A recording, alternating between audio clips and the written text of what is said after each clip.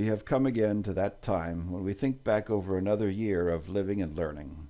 I hope every one of us, teachers and pupils, can feel the satisfaction of knowing that we have accomplished something that can be built on tomorrow. That is the best satisfaction upon which to end a school year. Because you may have had occasional spells of despondency, don't despair. The sun has a sinking spell every night, but it rises again all right the next morning.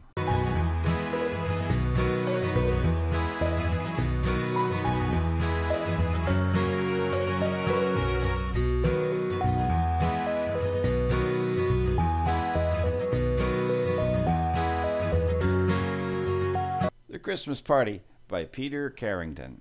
To describe the Christmas party, it could be said we ate and danced. However, this would not do full justice to it. When we got into the auditorium, the long tables, all neatly laid, greeted us with a promise of things to come. Then came the food, and more food. Everyone ate until he could eat no longer. As I sat there, I tried to visualize the work that must have gone into making this food, but I was unable. Congratulations to whoever did this work. After everyone was groaning in agony from too much food, the auditorium was cleared and the dance began. How anyone could bear to dance on a full stomach is unexplainable, but I found out that it was possible. With the novelty dances, the bunny hops, and all the regular dances, everyone was hot, tired, and happy. Our disc jockeys, Ron Bannerman and Peter Carrington, myself, did a good job, and the prospect of winning a prize brought everyone out onto the floor including many of the men teachers. It can indeed be said of this party that a good time was had by all.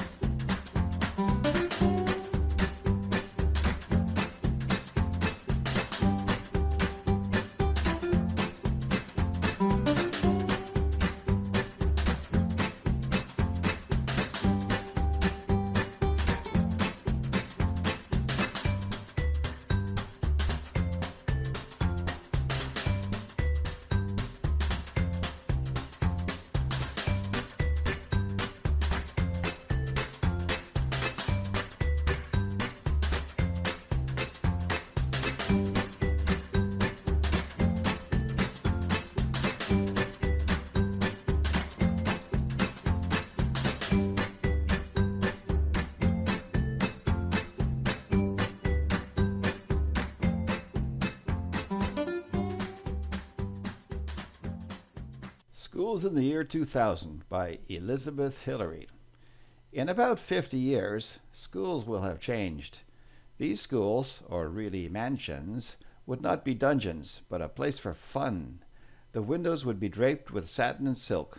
The teachers would have coffee breaks every hour, and in the spare time the pupils would have drinks from the soda fountain, and trays of chocolate would be brought if you wanted it. If you didn't want to eat, you could always go swimming in the swimming pool. You wouldn't think of walking on rotation. You would be taken in a rocket ship. I hate to think whether my pals might be from Mars or Jupiter.